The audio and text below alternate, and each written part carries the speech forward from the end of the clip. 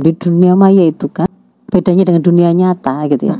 Orang itu bisa memalsukan identitas yang mereka punya. Oh. Nah, ini yang harus kemudian di, difahami. Orang bisa memalsukan identitas yang dia punya.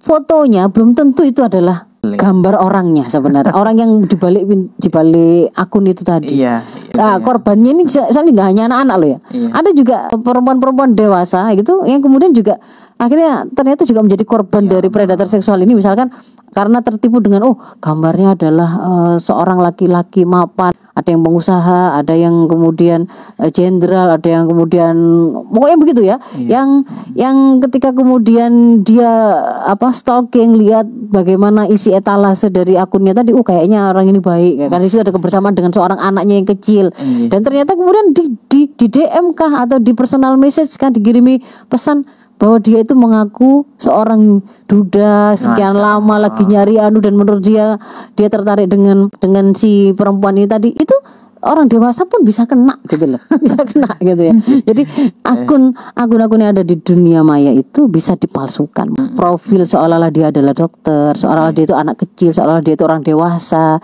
seolah-olah dia itu adalah eh, orang baik, ustadz dan seterusnya itu padahal mereka adalah orang-orang atau penjahat atau predator seksual ini sebenarnya predator seksual anak ini.